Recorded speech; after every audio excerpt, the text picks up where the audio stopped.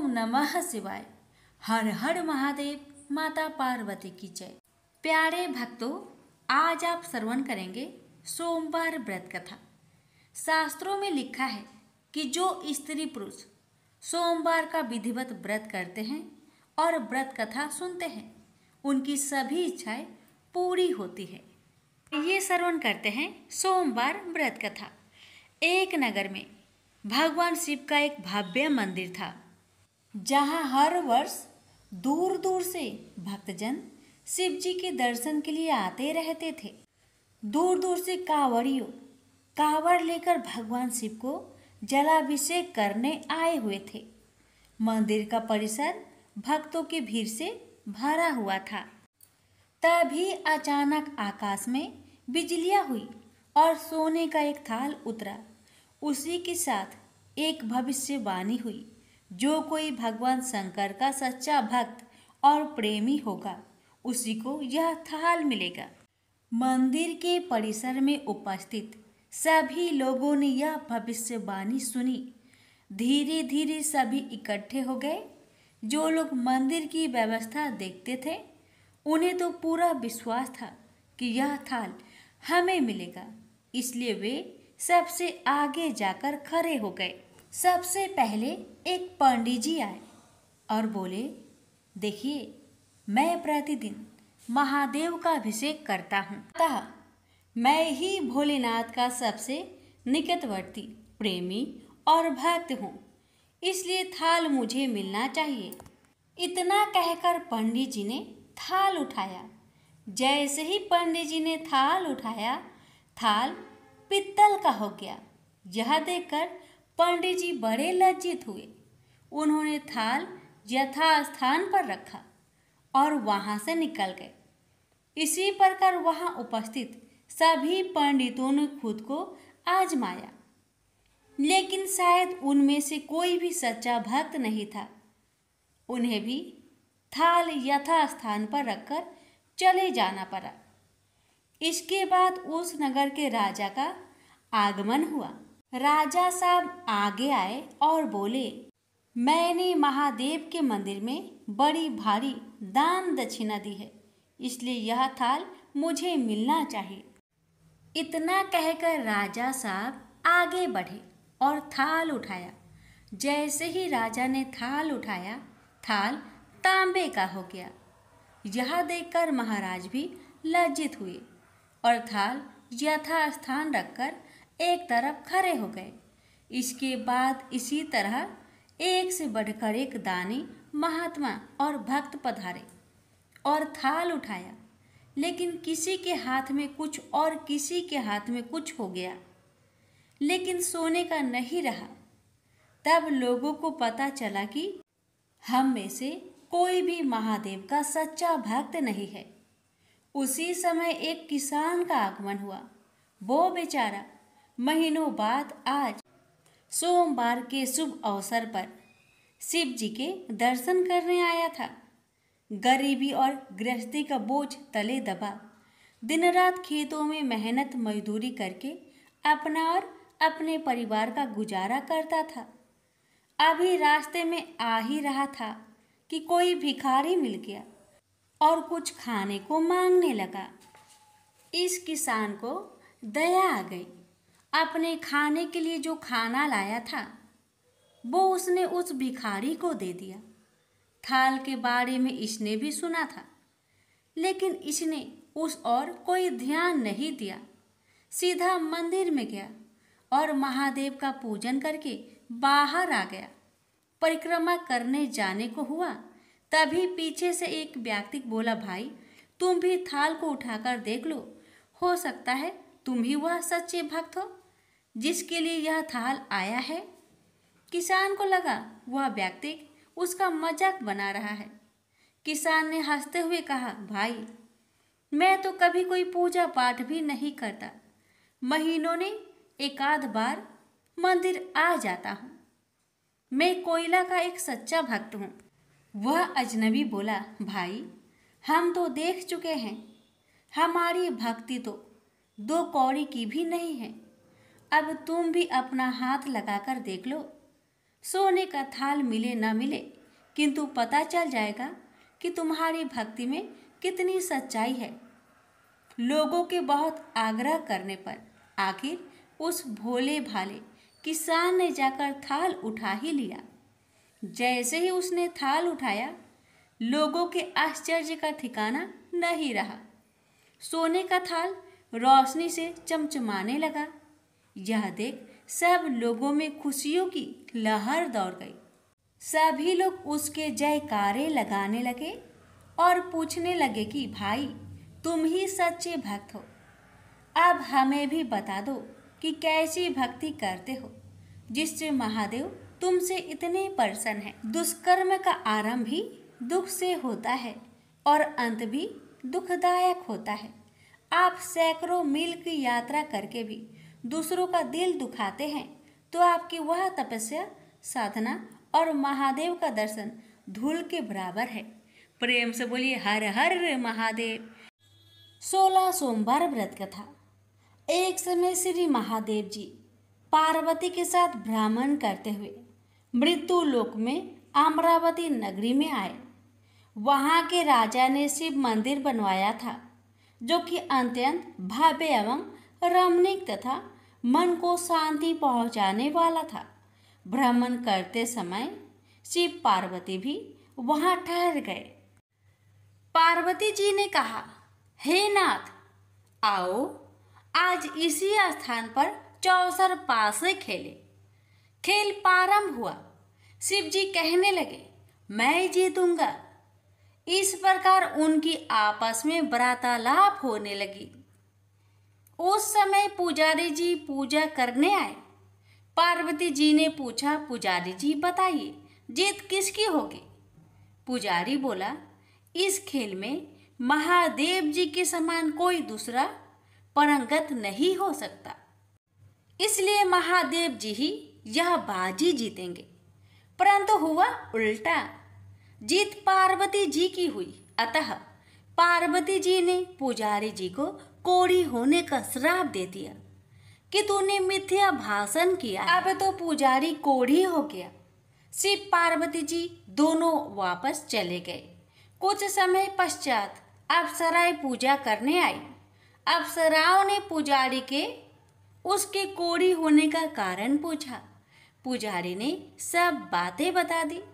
अप्सराएँ कहने लगी, पुजारी जी आप सोलह सोमवार का व्रत करें तो शिव जी प्रसन्न होकर आपका संकट दूर करेंगे।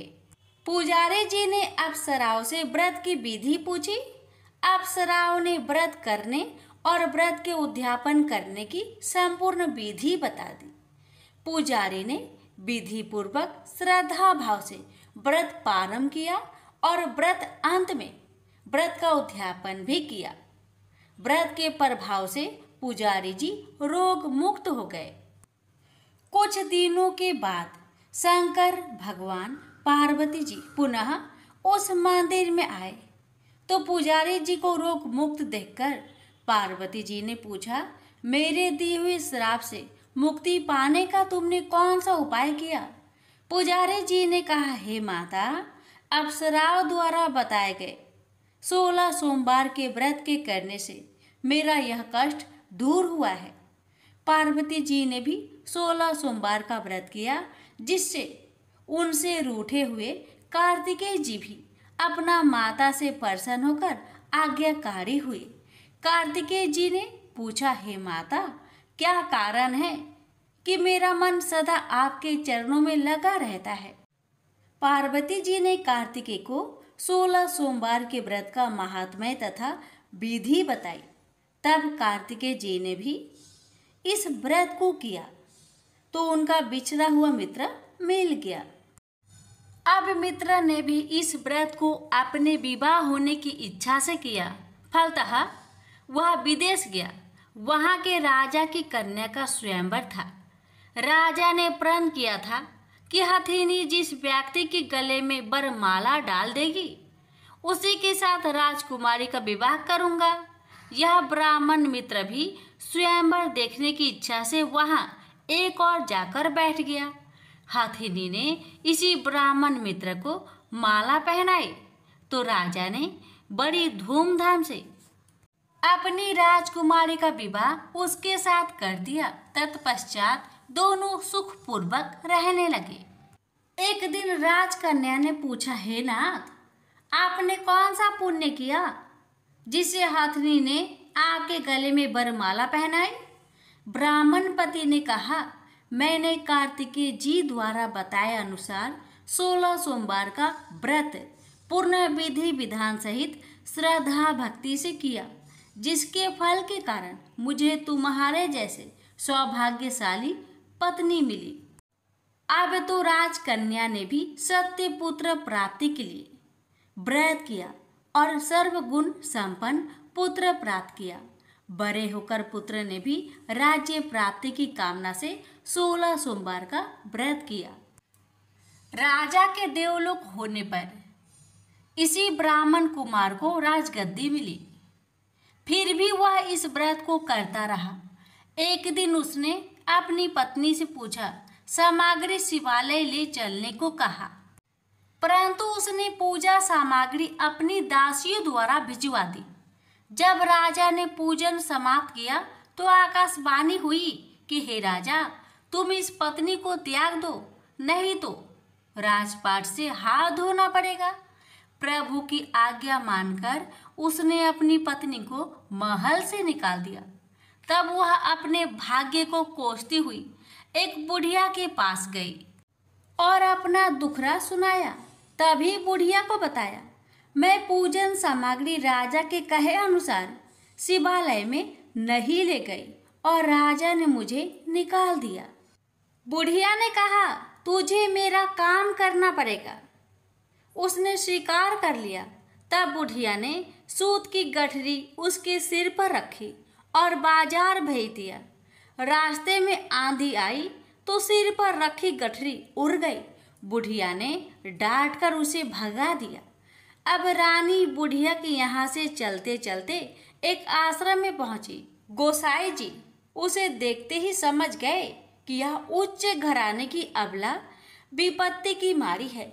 वे उसे धैर्य बधाते हुए बोले, बेटी, तू मेरे आश्रम में रह। किसी प्रकार की चिंता मत कर। रानी आश्रम में रहने लगी, परंतु जिस वस्तु को वह हाथ लगाती वह वस्तु खराब हो जाती। यह देखकर गोसाई जी ने पूछा, बेटी, किस देव के अपराध से ऐसा होता है? रानी ने बताया कि मैंने अपने पति की आज्ञा का उल्लंघन किया और शिवालय में पूजन के लिए नहीं गई। इससे मुझे घोर कष्ट उठाने पड़ रहे हैं। गोसाई जी ने शिव जी से उसके कुशल क्षेम के लिए प्रार्थना की और कहा, बेटी, तुम सोलह सोमवार का व्रत विधि के अनुसार करो। तब रानी ने विधि पूर्वक व्रत पूर्ण किया। व्रत के प्रभाव से राजा को रानी की याद आई और दूतों को उसकी खोज में भेजा। आश्रम में रानी को देख दूतों ने राजा को बताया। तब राजा ने वहाँ जाकर गोसाई जी से कहा, महाराज, यह मेरी पत्नी है। मैंने इसका परित्याग कर दिया था। कृपया इसे मेरे साथ जाने की आज्ञा दे। शिव जी की कृपा से प्रति वर्ष सोलह सोमवार का व्रत करते हुए वे आनंद से रहने लगे और अंत में शिवलोक को प्राप्त हुए। प्रेम से बोलिए, हर हर महादेव, माता पार्वती की जय। ओम नमः शिवाय। यह बात उस समय की है जब समुद्र मंथन से निकला अमृत कलश, दैत्य एक दूसरे के हाथों से छीन रहे थे। इसी बीच एक मनोरम स्त्री उनके बीच में चली आई।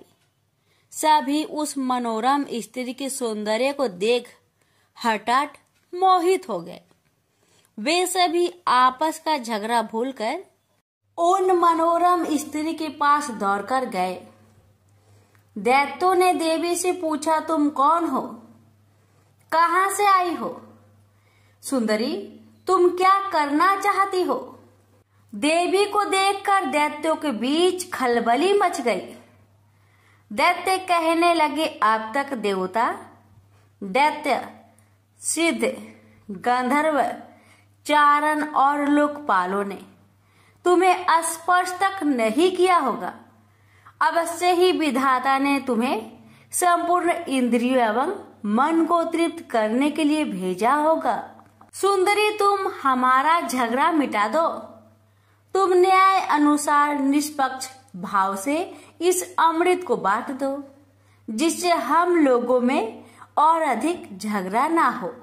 वास्तव में श्री हरि विष्णु योग माया शक्ति से युक्त हो, मोहिनी अवतार धारण किए हुए दैत्यों के पास गए थे। योग, माया, शक्ति के प्रभाव से तीनों लोकों में ऐसा कोई भी नहीं है, जिसे बस में नहीं किया जा सकता है। यही योग, माया, शक्ति आदि शक्ति है। दैत्यों की प्रार्थना पर तीनों लोकों को मोहित करने में समर्थ मोहिनी देवी ने दैत्यों को हंसकर कहा, मैं माया हूँ, तथा आप महर्षि कश्यप के संतान हैं। मुझे न्याय का भार क्यों दे रहे हैं? बुद्धिमान पुरुष को स्वेच्छाचारी स्त्रिया पर कभी विश्वास नहीं करना चाहिए। मोहिनी देवी की परिहास भरी बाणी दैत्यों को और अधिक आश्वस्त कर गई और उन्होंने अमृत से भरा कलश उनके हाथों में दे दिया। मोहिनी देवी ने अमृत का कलश अपने हाथ में ले दैत्यों से कहा, मैं जो भी करूँ, फिर चाहे वो उचित हो या अनुचित, अगर तुम्हें स्वीकार हो तो तुम्हें अमृत बांट सकती हूँ। उनकी मोहयुक्त मीठी बात सुनकर सभी दैत्य देवी मोहिनी की प्रस्ताव पर सहमत हो गए। मोहिनी देवी ने अगले दिन अमृत पान करने की सलाह दी। मोहिनी देवी के आदेश अनुसार अगले दिन समस्त दैत्य स्नान कर अमृत पान करने हेतु पंक्ति में बैठे। देवता भी वहाँ आकर बैठ गए। मोहिनी देवी अमृत के कलश हाथ में लेकर आई। वे बड़ी ही सुंदर साड़ी पहनी हुई थी। आँखें नसीली हो रही थी। कलश के समान स्तन तथा गज सावक के सूर्य के समान जंघाए थी। देवी के स्वर ने नूपुर अपनी झंकार से सभी को मोहित कर रही थी। सुंदर कानों में कुंडल थे तथा उनकी नासिका कपोल तथा मुखा रविंद्र बहुत ही मनोरम थे। बाद में भगवान के इस मोहिनी अवतार ने देवों को अमृत पान करवाया और दैत्य के साथ छल किया। उधर जब भगवान शिव ने सुना कि श्री हरि ने दैत्यों को मोहित कर देवताओं को अमृत पिलाने के लिए स्त्री रूप धारण किया, वे उस स्थान पर गए जहाँ भगवान श्री हरि निवास करते थे। वहाँ जाकर शिव जी ने भगवान श्री हरि की स्तुति वंदना की। श्री हरि ने शिव जी को दैत्य को मोहित करने वाले मोहिनी रूप दिखाया। एकाएक शिव जी एक रंग बिरंगे फूलों से भरे पूरे उपवन में पहुँच गए। वहाँ उन्होंने बड़े ही सुंदर परिधान पहने हुए, कमर में कमर धनी पहने एक सुंदर स्त्री को कीड़ा करते हुए देखा।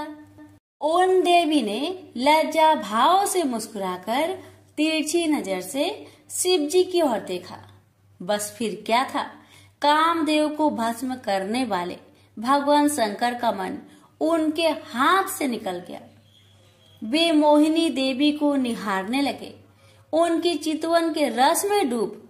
शिव जी इतने भावातुर हो गए कि उन्हें अपने आप की भी सुध ना रही।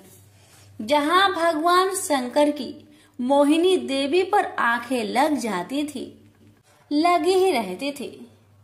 तथा उनका मन वही रमन करने लगता था। वे मोहिनी देवी के अत्यंत आकृष्ट हो गए। उन्हें मोहिनी भी अपने प्रति आसक्त जान पड़ती थी। उनके हाव भाव के शिव जी का विवेक शून्य हो गया था, तथा वे कामातुर हो गए थे।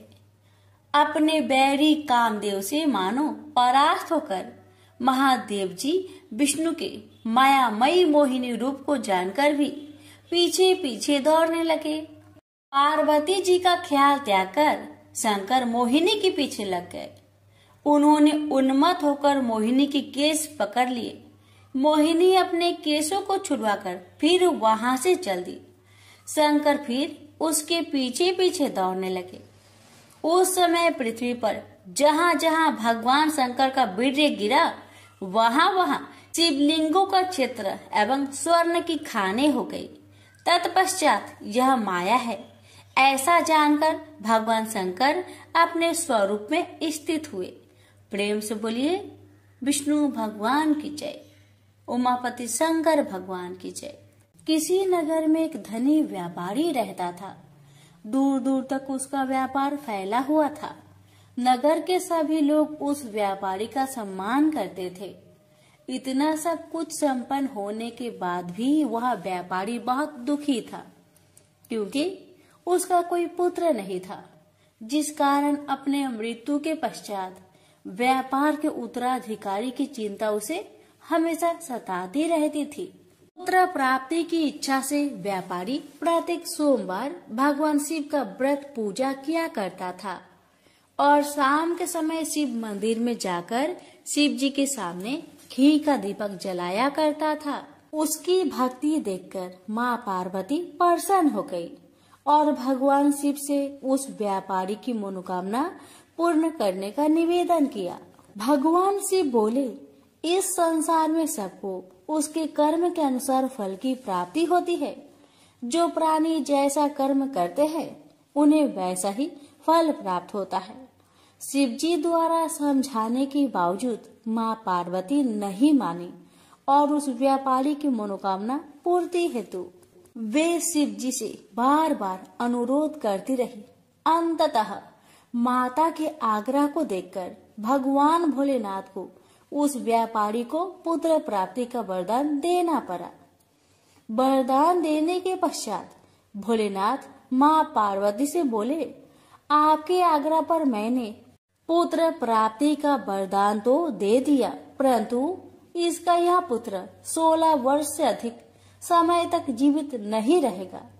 उसी रात भगवान शिव उस व्यापारी के स्वप्न में आए और उसे पुत्र प्राप्ति का वरदान दिया और उसके पुत्र की सोलह वर्ष तक जीवित रहने की भी बात बताई।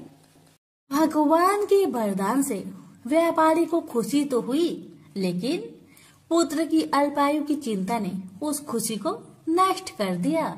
व्यापारी पहले की तरह सोमवार के दिन भगवान शिव का विधिवत व्रत करता रहा। कुछ महीनों के बाद उसके घर एक अति सुंदर बालक ने जन्म लिया और घर में खुशियाँ ही खुशियाँ भर गई। बहुत धूमधाम से पुत्र जन्म का समारोह मनाया गया, परंतु व्यापारी को पुत्र जन्म की अधिक खुशी नहीं हुई, क्योंकि उसे पुत्र की अल्प आयु के रहस्य का पता था। जब पुत्र बारह वर्ष का हुआ तो व्यापारी ने उसे उसके मामा के साथ पढ़ने के लिए बनारसी भेज दिया। लड़का अपने मामा के साथ शिक्षा प्राप्त हेतु चल दिया। रास्ते में जहाँ भी मामा भांजे, विश्राम हेतु रुकते कहीं यज्ञ करते और ब्राह्मण को भोजन कराते। लंबी यात्रा के बाद मामा भांजे एक नगर में पहुँचे। उस दिन नगर के राजा की कन्या का विवाह था, जिस कारण पूरे नगर को सजाया गया था। निश्चित समय पर बारात आ गई, लेकिन वर का पिता अपने बेटे के एक आँख से काने होने के कारण बहुत चिंतित था। उसे भय था कि इस बात का पता चलने पर कहीं राजा विवाह से इनकार न कर दे। इससे उसकी बदनामी भी होगी। जब बर के पिता ने व्यापारी के पुत्र को देखा तो उसके मस्तिष्क में एक विचार आया। उसने सोचा, क्यों ना इस लड़के को दुल्हा बनाकर राजकुमारी से विवाह करा दूँ। विवाह के बाद इसको धन देकर विदा कर दूँगा और राजकुमारी को अपने नगर ले जाऊँगा। बर के पिता ने लड़के के मामा से इस संबंध में बात की। मामा ने धन मिलने की लालच में वर के पिता की बात को स्वीकार कर ली। लड़के को दूल्हे का वस्त्र पहनाकर राजकुमारी से विवाह कर दिया गया। राजा ने बहुत सारा धन देकर राजकुमारी को विदा किया। शादी के बाद लड़का जब राजकुमारी के साथ लौट रहा था तो वह सच नहीं छिपा सका और उसने राजकुमारी के ओढ़नी पर लिख दिया, राजकुमारी तुम्हारा विवाह मेरे साथ हुआ था। मैं तो बनारसी पढ़ने के लिए जा रहा हूँ। और अब तुम्हें जिस नव युवक की पत्नी बनना पड़ेगा, वह काना है। जब राजकुमारी ने अपनी ओढ़नी पर लिखा हुआ पढ़ा तो उसने काने लड़के के साथ जाने से इनकार कर दिया। राजा को जब ये सब बातें पता लगी तो उसने राजकुमारी को महल में ही रख लिया। उधर लड़का अपने मामा के साथ बनारसी पहुँच गया और गुरुकुल में पढ़ना शुरू कर दिया। जब उसकी आयु 16 वर्ष की हुई तो उसने यज्ञ किया। यज्ञ की समाप्ति पर ब्राह्मणों को भोजन करवाया और खूब अन्य वस्त्र दान किए। रात को वह अपने शयन कक्ष में सो गया। शिव के वरदान के अनुसार शयन अवस्था में ही उसके प्राण पेखरू उड़ गए। सूर्योदय पर मामा मृत भांजे को देखकर रोने पिटने लगा। आसपास के लोग भी एकत्र होकर दुख प्रकट करने लगे। लड़के के मामा के रोने बिलाप करने के स्वर समीप से गुजरते हुए भगवान शिव और माता पार्वती ने भी सुने। माता पार्वती ने भगवान से कहा, प्राणनाथ, मुझे इसके रोने का स्वर सहन नहीं हो रहे। आप इस व्यक्ति के कष्ट को अवश्य दूर करे। भगवान शिव ने माता पार्वती के साथ अदृश्य रूप में समीप जाकर देखा तो भोलेनाथ माता पार्वती से बोले, यह तो उसी व्यापारी का पुत्र है, जिसे मैंने सोलह वर्ष की आयु का वरदान दिया था। इसकी आयु पूरी हो गई है। माँ पार्वती ने फिर भगवान शिव से निवेदन कर उस बालक को जीवन देने का आग्रह किया। माता पार्वती के आग्रह पर भगवान शिव ने उस लड़के को जीवित होने का वरदान दिया और कुछ ही पल में वह जीवित होकर उठ बैठा। शिक्षा समाप्त करके लड़का मामा के साथ अपने नगर की ओर चल दिया। दोनों चलते हुए उसी नगर में पहुँचे, जहाँ उसका विवाह हुआ था। उस नगर में भी यह का आयोजन किया। समीप से गुजरते हुए नगर के राजा ने यज्ञ का आयोजन देखा और उसने तुरंत ही लड़के और उसके मामा को पहचान लिया। यज्ञ के समाप्त होने पर राजा मामा और लड़के को महल में ले गया और कुछ दिन उन्हें महल में रखकर बहुत सा धन, वस्त्र आदि देकर राजकुमारी के साथ विदा कर दिया। इधर भूखे प्यासे रहकर व्यापारी और उसकी पत्नी बेटे की प्रतीक्षा कर रहे थे। उन्होंने प्रतिज्ञा कर रखी थी कि यदि उन्हें अपने बेटे की मृत्यु का समाचार मिला तो दोनों अपने प्राण त्याग देंगे। परंतु जैसे ही उसने बेटे के जीवित वापस लौटने का समाचार सुना तो वह बहुत परेशान हुआ। वह अपनी पत्नी और मित्रों के साथ नगर के द्वार पर पहुँचा। अपने बेटे के विवाह का समाचार सुनकर पुत्र बधु राजकुमारी को देखकर उसकी खुशी का ठिकाना न रहा उसी रात भगवान शिव ने व्यापारी को सपने में आकर कहा, हे श्रेष्ठी, मैंने तेरे सोमवार व्रत करने और व्रत कथा सुनने से प्रसन्न होकर तेरे पुत्र को लंबी आयु प्रदान की है पुत्र की लंबी आयु जानकर व्यापारी बहुत प्रसन्न हुआ। शिव भक्त होने तथा सोमवार का व्रत करने से व्यापारी की सभी मनोकामनाएँ पूर्ण हुई। इसी प्रकार जो भक्त सोमवार का विधिवत व्रत करते हैं और व्रत कथा सुनते हैं, उनकी सभी इच्छाएँ पूरी होती है। बोलिए, उमापति शंकर, भगवान की जय।